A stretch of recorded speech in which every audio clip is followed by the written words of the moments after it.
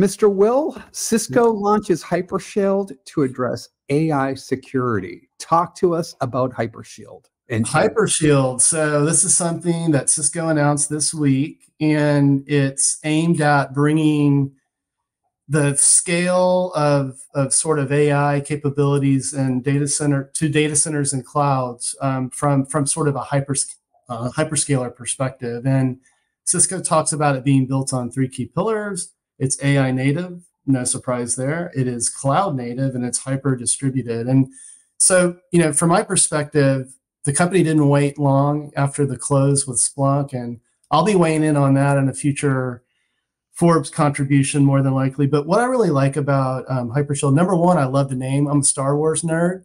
Reminds me of hyperspace and Han Solo and Chewbacca. So um, I love that about it. But from my perspective, um, AI workloads are going to be moving to the network edge and into the client with the rise of AI PC and that sort of thing, and just the need to do things more cost effectively from an AI workload perspective. So when I sort of look at this at the surface, um, Cisco aims to sort of a, address that, protecting apps, uh, data, and devices. So um, I will be weighing in on this topic as well um, with a with a contribution, but it's sort of you know from my perspective, it's sort of a kind of a security fabric, you know, to sort of protect you know the, the models and the data in the apps. So Matt, Matt, what do you think? I mean, you know, from your perspective, is it is it compelling?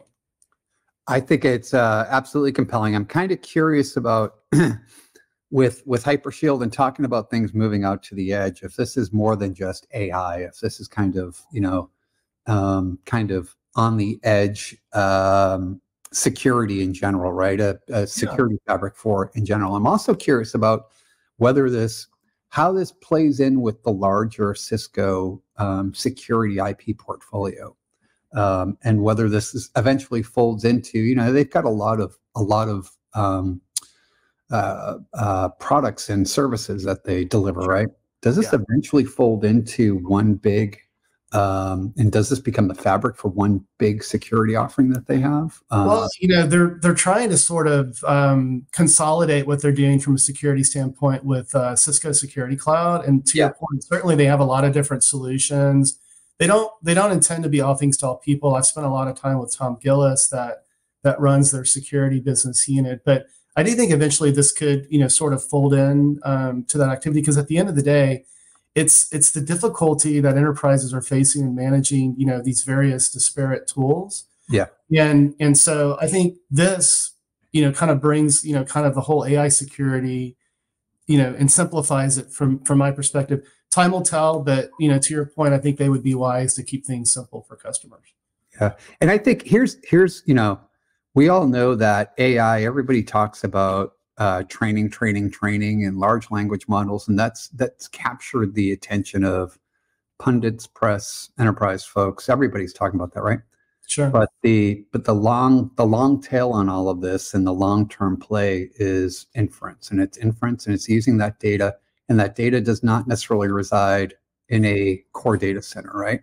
Right. Um, it's going to reside uh, in you know stores that are you know, trying to set up smart registers. It's going to reside on oil platforms. It's residing everywhere. And the mm-hmm. question is, how do you protect that when it's quote unquote out in the wild, which yeah. Paul probably has a, a, much better perspective on than I do. But that's the big challenge. And I think that's where this really is going to have a lot of value to enterprise organizations, obviously. Yeah, I agree.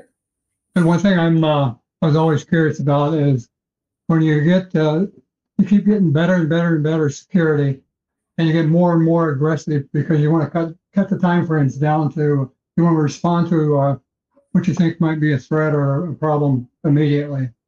And when they start doing that, um, then it seems like they're getting close to to uh, having a, a, a false alarm become a uh, a, a, false positive. I don't know how they manage that. Uh, something I'd like to find more find out more about, but uh, you know, it seems like that could happen. It could uh, really impact uh, operational efficiency and and risk and everything. If you get, you know, start getting a lot of false positives. So. False positives. That's the story of my life. False positives. uh, anyway, let's uh, let's move. Sometimes false positives probably can be good, you know?